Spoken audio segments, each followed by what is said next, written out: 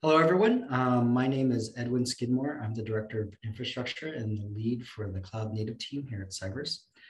So welcome and thank you for joining today's uh, tech preview, uh, tech preview webinar um, uh, of an exciting new service that we're building here in Cyverse. So it's an open source uh, platform currently named Cacao, which will most likely change its name uh, in the near future. Um, also, I should mention the platform is alpha grade, thus the tech preview. So today I'll be talking, uh, talking a little bit about the background uh, and the challenges of currently using the cloud, which kind of drove the solution that we're developing and uh, demo, do a very short demo and discuss some of the plans. So as part of the background, let me tell you a little bit about uh, how, you know, about Cyverse and how it started. Um, Cyverse was launched in 2008, primarily to build a cyber infrastructure for researchers. And part of that mission was to connect users to this abstract yet cool infrastructure called the cloud. Um, to put that a little into perspective, here are some of the technologies that uh, were um, launched in 2008. So uh, you can see the Wii Fit, uh, which my kids used quite a bit. Um, the Android was launched and the iPhone 3G was launched. So during that, uh, during that year, research, I would say research in the cloud was almost unheard of, uh, let alone uh, researchers getting access to it. So, um, and if you happen to use the cloud, it was very difficult and expensive, and you'd be hard pressed to find any real scientific frameworks that were in common use.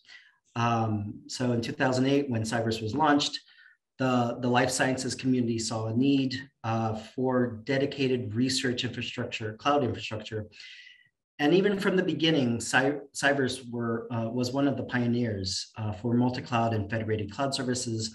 And you can see some of the services that we developed um, around that time. So the data store, which was a federated data storage, the discovery environment, which was a distributed analytical and data management platform, and Atmosphere um, was a uh, multi-cloud hybrid cloud platform um, that was complete with its own application catalog and had sharing capabilities. It was um, hybrid cloud in the sense that it supported, uh, when it was launched, um, it supported Eucalyptus and OpenStack, um, uh, Eucalyptus at the time was a uh, it was an on-premise cloud that eventually faded away, and OpenStack uh, became the predominant on on-premise cloud. Um, uh, Atmosphere is used today uh, and has uh, lived for quite a long time. it's primarily around it's it's around primarily because of its usability and its ability for multi-cloud, even for OpenStack. So uh, research uh, today, I think, um, even though the cloud is, um, is a little bit more common practice to use, it has better access. There's certainly some challenges. Um, so, but there's a lot of benefits as well and a lot of more um, um, exposure. So uh, one such example is uh, um, NSF XSEDE Jetstream 2. Um, it provides um, OpenStack clouds to uh, researchers, and it's a very, um, very easy to use platform. Um, another example is NSF Cloud Bank. Uh, it it uh, was specifically created to onboard researchers to commercial clouds. So along with more common use and easier use of, of clouds, there is now more cloud frameworks that scientists can use and they provide more capabilities in using the cloud. So along with some of these powerful frameworks, um, some of these powerful frameworks are actually complete software stacks themselves that include like web front ends and back ends, um, like Jupyter Hub and MLflow. And but sometimes because they're um, more sophisticated, they are um, often uh, difficult to uh, create or provision in the cloud. So um, also, um, with these frameworks, uh, science in the cloud has become more sophisticated, um, leading you know, this, to the scientific community uh, needing more, uh, driving some of the needs that they have with data, such as event-driven um, being able to analyze event-driven data or uh, streaming data, for example. So Cyverse has both grown in our community size um, uh, and evolved along with these trends and needs from the research community. Uh, as an example, we currently have uh, 98,000 uh, registered users using CyVerse and 11 petabytes of data. So CyVerse today is less about providing our own infrastructure and really about um, connecting users um, uh, to the cloud and focusing on things that really matter, uh, that are more important to users, such as the usability of the clouds, uh, bridging gaps in access, enabling productive use, uh, enabling um, cost containment. And we're really focusing on collaborating with partners to introduce features like machine learning operations, uh, hybrid cloud, and uh, using more cloud native technologies. We're exposing these to, to researchers' um, analyses. So I'm sure everyone on the call can share their own stories about the challenges of using the cloud for their own research. Um, one of the fundamental issues that it still exists today is that cloud is both um, an overloaded term and at the same time very specific. And um, for researchers, if they're not very careful, if they're using a particular cloud, they can uh, risk vendor lock-in. So another characteristic uh, or challenge of uh, doing science in the cloud is that uh, science is uh, science in the cloud is very op uh, opportunistic, meaning that researchers tend to use clouds they can get access to, either free or low cost access to those cloud resources. So this presents challenges for researchers, um, particularly as they consume their allocations in research clouds, or perhaps they have budgets in commercial clouds. And really this boils down to uh, cost containment or cost awareness.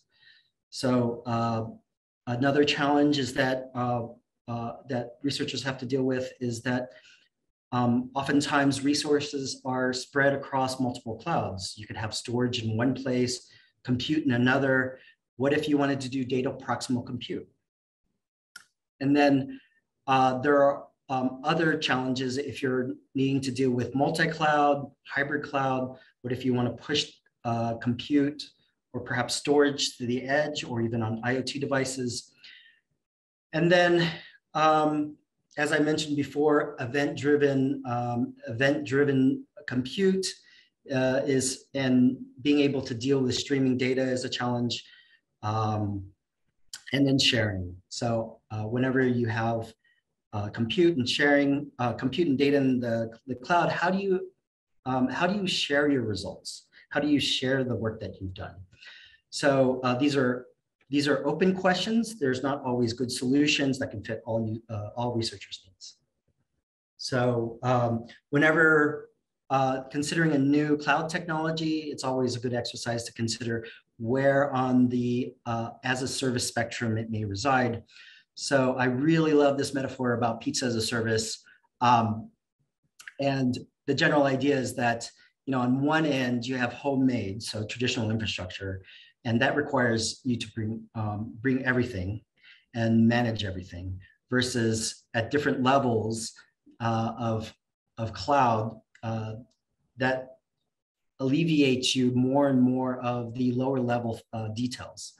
So Cacao specifically um, straddles the, uh, the infrastructure as a service, platform as a service, software as a service. Depending if you are a creator of workflows or someone who ultimately just wants to use Cacao for their analysis. So to better describe what Cacao is and how it fits in research, I'd like to use a metaphor of planning event. So I think most of us are, are familiar with planning small events, rather, you know, whether it's a dinner party or birthday party, or maybe even a holiday party. So um, these events have different levels of planning and coordination. And for many of us, planning small events are relatively easy. You could do things. Uh, so you usually create an, a list of things that you need to do and execute on them. So examples I put is like, you know, I need to order a cake or order party supplies, reserve a band, things like that. And so, um, you know, but but what happens when the the event becomes bigger and it needs more coordination? So, you know, now I have to coordinate. Uh, you know, I have to coordinate with a band and a caterer and the venue, and then I have like, you know, maybe it's not a dozen people anymore; it's a hundreds of people. So, uh, and then another challenge is, let's say this is an annual event, like a holiday party, and you want to be able to reproduce this. So that becomes a challenge. Um, well, at some point, if the event gets big enough and there's a lot of things you need to, uh, like someone needs to worry about in terms of the event, well, at some point, people hire an event planner. Why? Because an event planner will take care of all the little details for you so you don't have to worry about these things. So details then can be described like, I want a red velvet cake, uh, three layer cake. I want, you know, uh, pop and I want maybe American food um, or I want, you know, something else. But the, the idea is that the event planner can just basically take your description of what you want and then execute on them. And then there are going to be some details that you don't even have to tell the event planner what to do, and they just take care of that for you. For example, you wouldn't need to tell an event planner, hey, can you order the party supplies? No, they'll take care of that for you. So in a sense, all you have to do is configure the aspects of the party, like how many people are going or the type of food. And then you're free to think also about like the bigger picture items, like I want this theme. So a great party planner will keep notes of everything and then allow you to recreate a successful event, maybe for another time. So like think of an annual holiday party, maybe it's a company party or holiday event, and uh, you want to recreate it. So uh, maybe you want to change uh, the venue of, of where the event's going to take place. Uh, you can change uh, the music as well. But the idea is that the planner will take care of those little changes for you so you don't have to worry about it. And then the nice thing about a good uh, event planner is that, let's say a colleague or a friend wants to reproduce your successful event. They go to you and say, wow, that's amazing. I, I really loved your event. Can I just like borrow your planner? And sure, the, the planner will be able to to reproduce what uh, they did for you for your friend or for your colleague. And then all your colleague would have to do is just configure what they want. Maybe they want Mediterranean food instead of American food. So Cyverse Cacao is that event-driven multi-cloud uh, party planner as a service, if you will. So they will take, uh, so Cacao will take declarative templates, which represents uh, your analysis or your workflow or the environment that you want to create in the cloud, and then create that for you. So, um, and then it will create it on the cloud that you select. So currently, uh, Cacao uh, is, is supporting very specific research clouds based on OpenStack, like Jetstream 2, which I'll get to in a second. But uh, Cacao already has the code to support other types of cloud platforms like Kubernetes and it can be deployed to any cloud. So AWS, GCP, Azure, uh, even, uh, even uh, to the edge um, in IoT devices. So the great part of these templates is that it's not just about compute, which is a lot of focus for clouds, but these templates can represent storage that you want to provision to, to be used with your compute. And if you want to create these templates, that's great. Uh, that way you can share it with others, perhaps, or your collaborators. But the idea is like, if you're like most users, you don't want to, you know, maybe you don't want to worry about creating these templates. If you have a collaborator that loves creating these templates, um, you can use theirs. They can use Cacao to create, uh, to import into the system, and then you can just use theirs. Or if some other researcher perhaps published on a template and has one that, uh, that the community can use, you can use theirs. Cyverse, in addition, will be committed to creating commonly requested templates like creating basic VMs, uh, launching uh, Jupyter Hub, uh, multi-user Jupyter Hub, RStudio, even Kubernetes on demand and other virtual clusters uh, will create highly um, uh, high impact, highly requested templates based on community feedback. So what is Cacao really? Um, it's essentially an event-driven multi-cloud service that enables users to scale out and share their tools, their workflows into any research-capable cloud using declarative templates. So uh, Cacao itself is event-driven. Uh, it's a microservices architecture built on Kubernetes, and it uses these cloud-native technologies. So I mentioned some of the capabilities already for Cacao, but some things I didn't mention that I point out is that it can elastically scale workflows based on demand and also elastically scale down these workflows. It can trigger workflows based on these events. Um, so based on events, and that can include data changes, code changes. It can uh, execute events on some period. So maybe it's like once a day. It could also receive external sources. So if, let's say, if you have uh, another queue, like a Kafka queue that streams in data, then it can actually uh, execute these uh, workflows. Um, it can also trigger these things, uh, trigger OpenStack resources as well. So it uses Git for uh, the storage of, um, for storage, and it supports um, uh, federated identity with uh, OAuth 2 and OpenID Connect. Uh, it has a REST API and a command line client. And in fact, the UI is a very lightweight client that uses the REST API entirely. Um, Cacao will be a key service in CyVerse's ecosystem. So while users can um, execute their declarative templates in multiple clouds, leveraging the data store will allow you, uh, allow those researchers to uh, register uh, for events and activate workflows. Um, users can then use um, uh, the discovery environment as um, uh, to manage and visualize data that gets deposited back into the data store. And also the discovery environment will be integrated with Cacao um, to, to leverage the uh, Cacao's bring your own cloud um, functionality.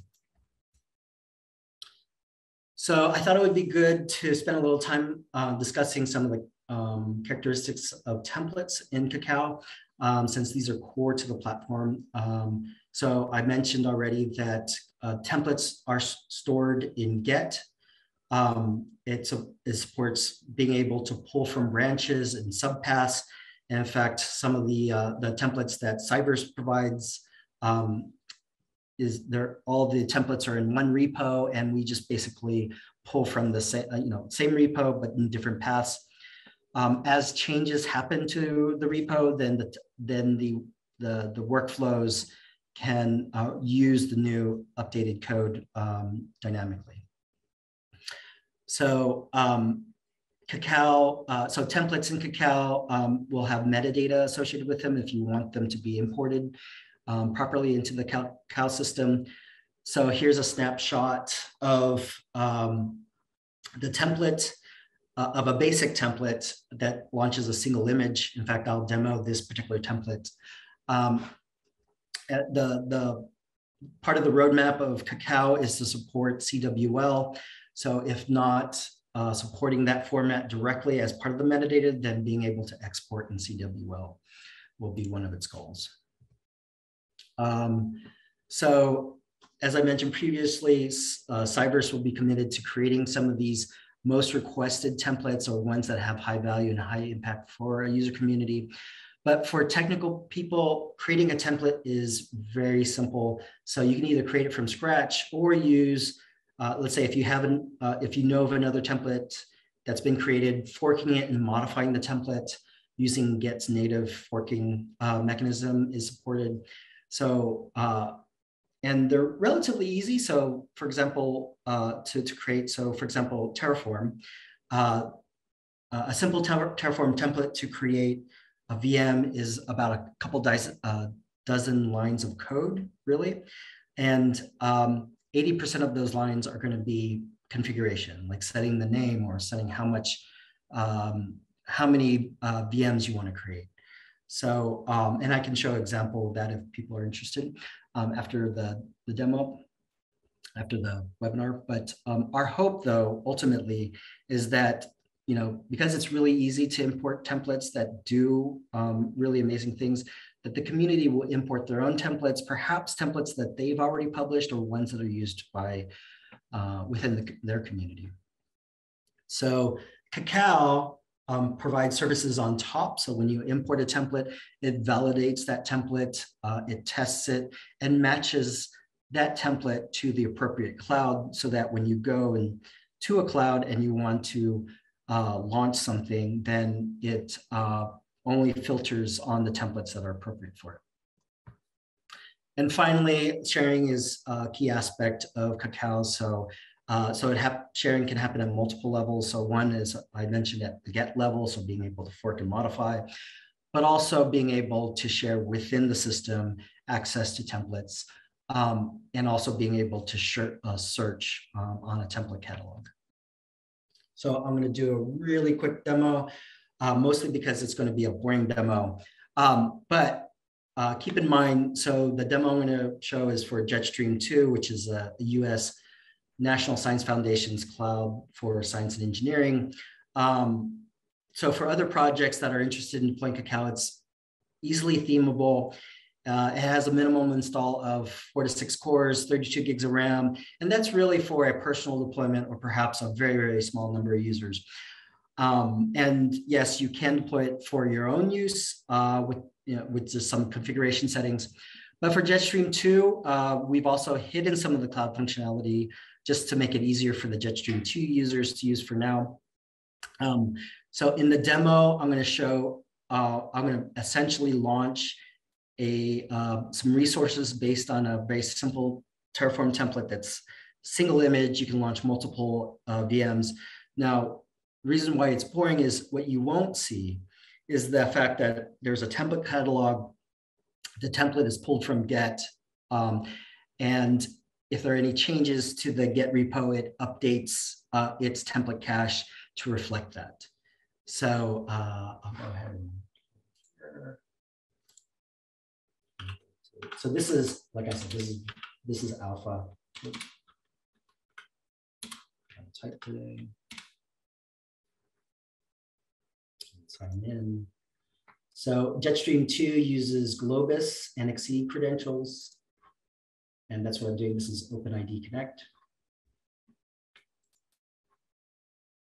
I should say OAuth 2.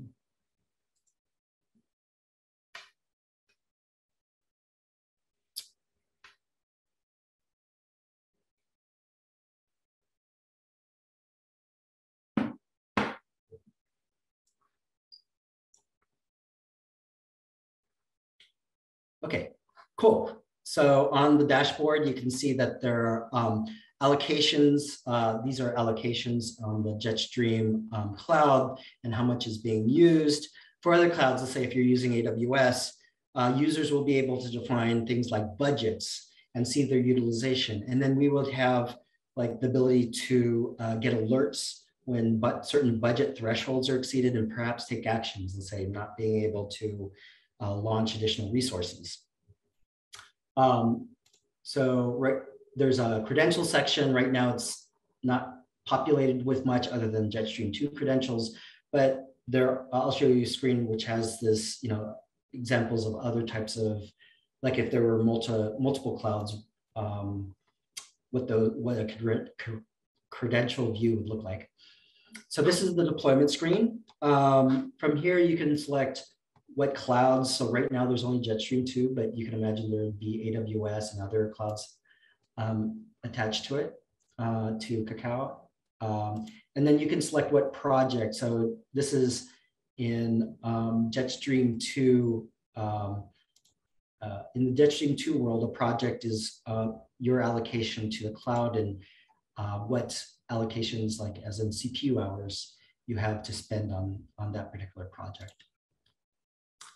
Um, so you can see what deployments are, but to add a deployment, um, basically you click um, add. And here you would see um, the list of templates that are appropriate for that cloud. So in this case, we only have one template, but and I'll show you um, screenshots of other templates that are um, close to completion. This one just simply launches uh, a VM, one or more VMs from a single image.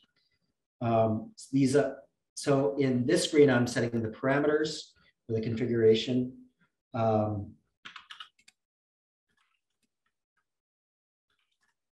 um, and in for Jetstream, um, I can select an image and then how many instances and then the size. So these parameters are all taken from the template. And um, at, you know, as users create templates, they can um, they'll be able to define and parameterize how the interface looks, including like what fields uh, and what data types are appropriate for that field. But in this case, this is what's for the single image launch. And then I can submit. And so that's basically the demo. It's it's launching. Um, see.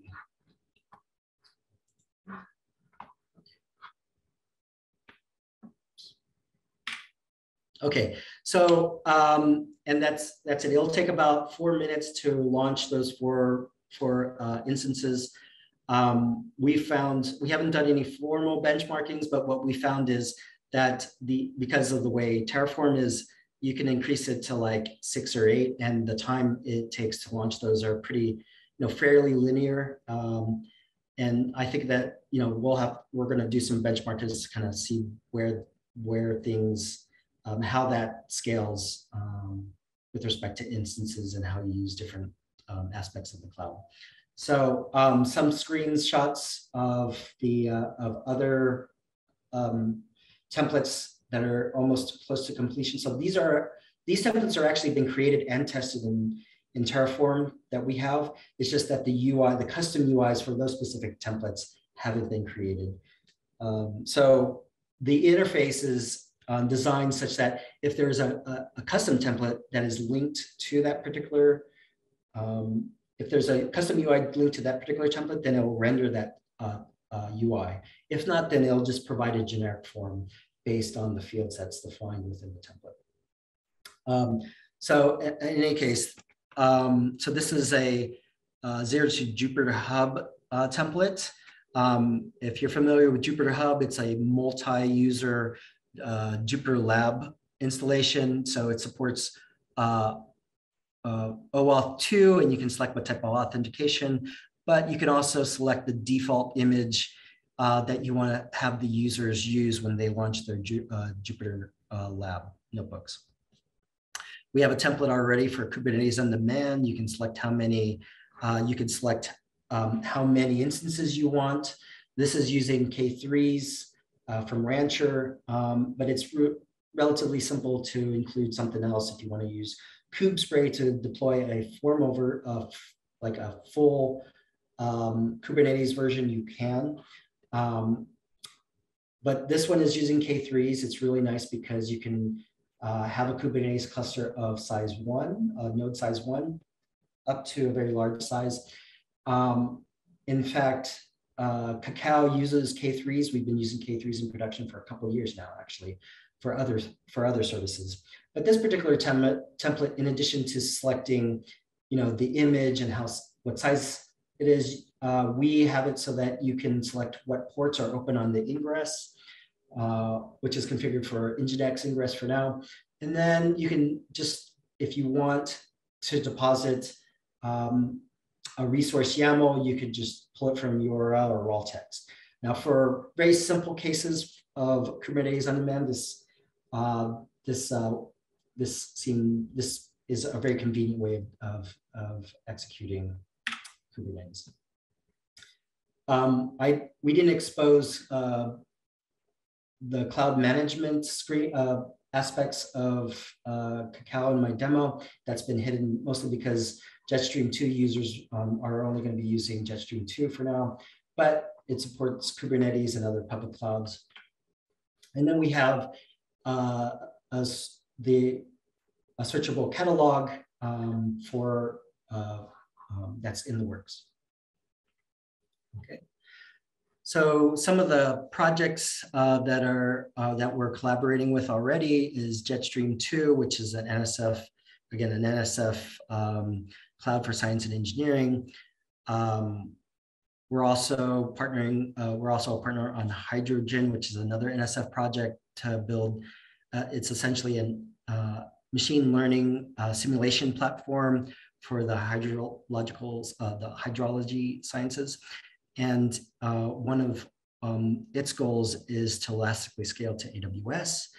Um, Coalesce is a essentially a smart farm um, project, and uh, its needs is to distribute um, um, computing on the edge. So the, being able to deploy machine learning um, uh, algorithms as on the edge as data is streaming into uh, our central cloud at CyVerse.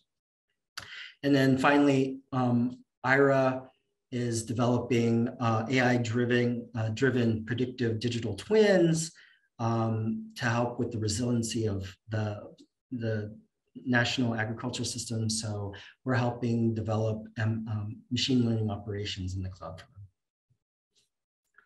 So uh, I mentioned a lot of these benefits before, but just to summarize, um, so the ability for users, you know, the ability to bring their own cloud and then being able to do analysis uh, dy dynamically using their own credentials, uh, and then being able to do uh, to also bring on-prem clouds.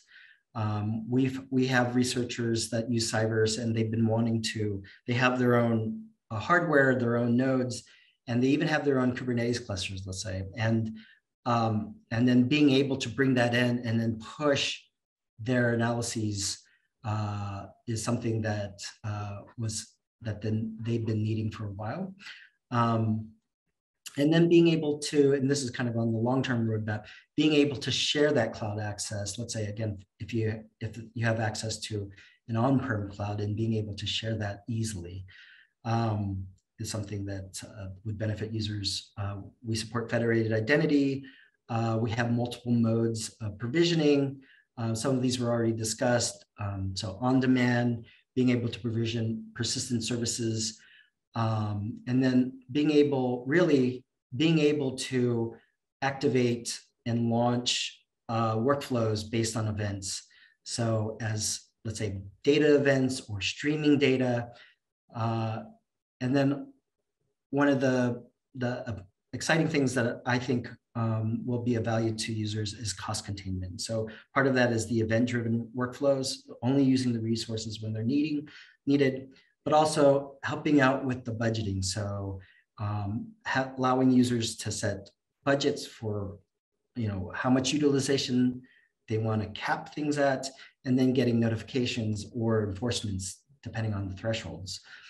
Um, as I mentioned before, it's uh, has uh, Cacao has an API and a CLI um, so that uh, users can programmatically uh, extend their analyses or enhance what they already have, um, and then template template reuse. So being able to create a template and reuse it over and over again and share that, or perhaps using someone else's.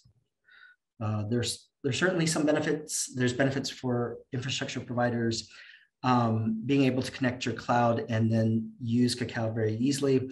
Obviously, there might be some you know asterisks to that, um, nuances with authentication, authorization, aspects to allocations, uh, and we would love to, to work with you to help integrate your cloud.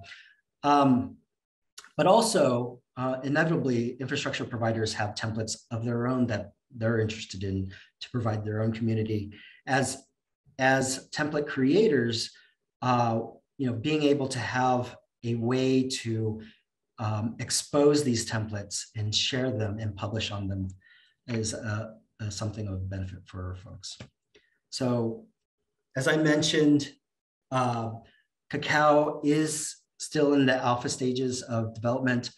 Um, so, so, here are some of the things that uh, high level roadmap items that we have in the near term. Um, so uh, improving the, the performance of deployments uh, and ex particularly exposing um, how um, as Cacao is deploying workflows into the cloud. So as you saw when I was, when I clicked the button to deploy that single image, Uh, it would be what we want to do is show you as it's deploying um, the different um, the different artifacts that are being created. Um, so that'll help with uh, triaging if there's problems with your template and whatnot. Um, so uh, while Cacao certainly stands on its own, the real kind of value for CyVerse, CyVerse's users is integrating with uh, the CyVerse platform and really adding value. So it's integrated with the discovery environment and data store um, and our other uh, and our other services. So, um, so I mentioned that um, event-driven uh, workflows is a, a you know a, a, core competency of Cacao, and so uh, uh, one of the things that we're going to do um, shortly is exposing uh, users being able to trigger those events based on uh, trigger uh, workflows based on those events and provisioning them. So scaling these things out, scaling these workflows out or scaling down when there's no longer events.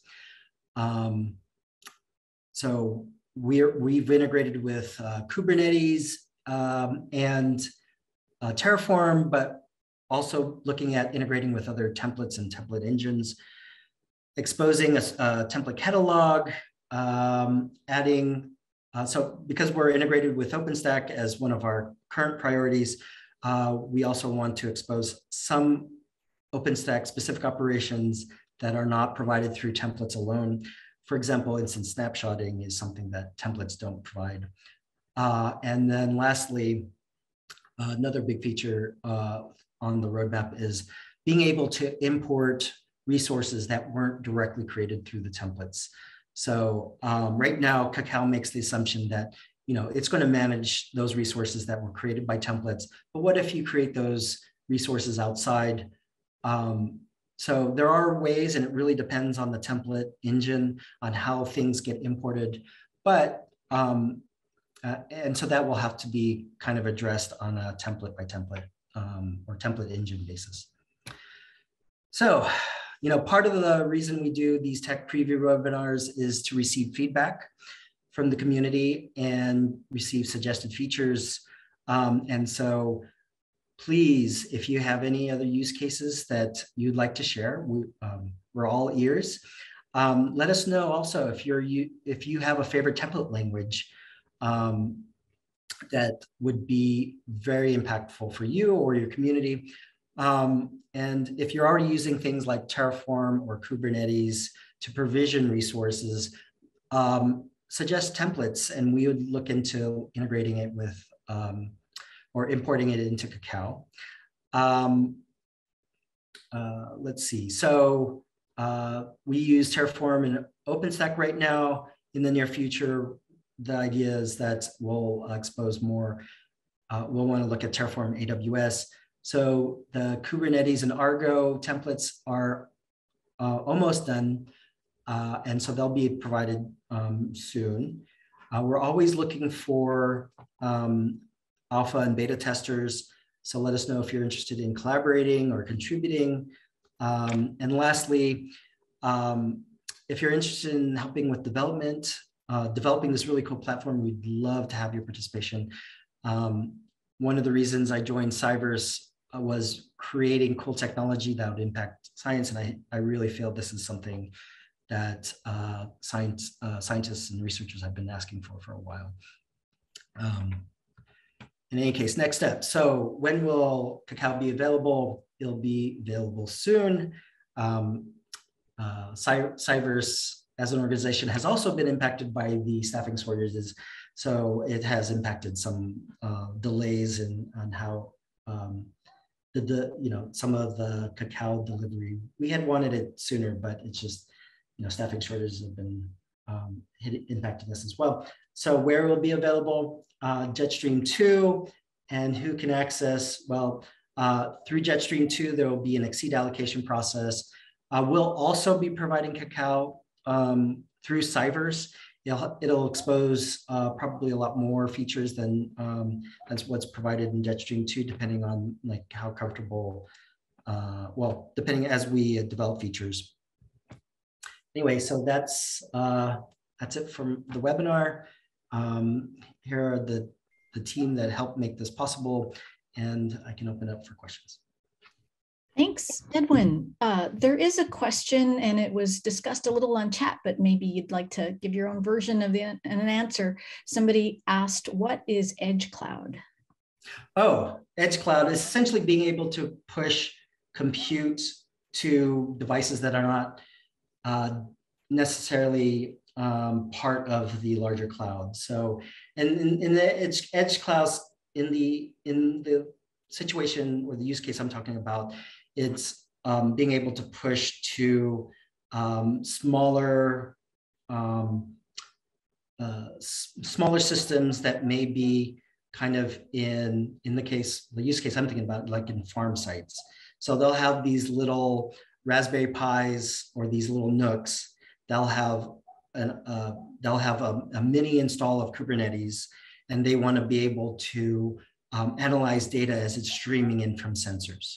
So that's an example of the edge. Great, thank you. Um, are there any other questions for Edwin? Uh, if not, just, well, please type them into the chat if you do have them. In the meantime, uh, let me tell you that our next webinar next month, Friday, March 25th at 10 uh, a.m. will be Dr. Bonnie LaFleur and her lab will give us a demonstration of a Python pipeline that they've developed for single cell RNA-seq analysis. So uh, it's not a tech preview, it'll be an actual, more like a tutorial. So please join us for that. Again, you can find information on our webinars uh, on our events page on our website. Uh, any other questions? Oh, just lots of compliments. Okay. Would you imagine this being used to deploy a coding class computing environment? Yes, I, I uh, this is actually one of the use cases uh, where um, we felt was um, you know that we needed to support. Um, so, like for example, like the Jupyter Hub example, like being able to um, let's see if I can. Uh, okay, so in this case, um, being able to launch a Jupyter Hub and then, uh, so Jupyter Hub supports many different uh, types of authentication, but one is uh, being able to do default authentication and you can specify the users who want, you want access. Um, you could also do get, you know, GitHub if you, you, you know, everyone wanted to create a GitHub account, but at, you know, in any case, being able to specify, like if you have a, a you know, a notebook image that you want every user to use, then you can specify it here in the tag. And then when this is done provisioning, you will have a complete Jupyter Hub installation with uh, and the ability to manage it um, as users, as your class wants to use it. So that would be an example. Okay, that's great. Yes. Um, all right, I don't see any other questions. So thank you everyone for attending and thank you Edwin so much for giving us this tech preview.